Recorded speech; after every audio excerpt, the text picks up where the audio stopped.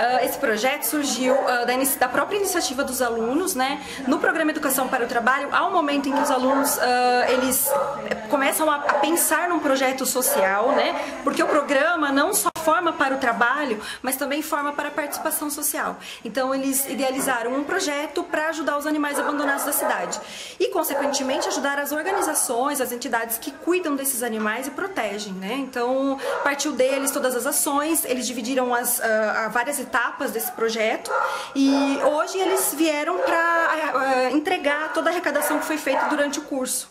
Uhum. E quanto foi arrecadado pelos alunos? Então, for, é, a, gente não, não mensurou né, o resultado dessa, dessa coleta, mas uh, como vocês podem ver, está tudo nas mãos já da, da UIPA, né, da LAID, e a gente espera ter contribuído um pouquinho para dar o um mesmo para a sociedade se mobilizar e continuar ajudando. Né? Nós uh, estamos também uh, organizando um evento musical no Teatro de Arena no dia 23 de junho. É muito importante divulgar porque com, essa, com esse grande evento nós vamos uh, arrecadar mais ração né, para as organizações da cidade que cuidam dos animais. Então vai ser no dia 23 de junho às 4 horas da tarde no Teatro de Arena, Teatro Municipal de São Carlos, às 4 horas da tarde. Né? Nós vamos também é, contar com a participação de músicos voluntários, né? o Marcelo Ribeiro do Beatles Return, o Pardella e Bruno Marques do Tarja Preta, o Coxa e o Neto Rockefeller do Blues Deville.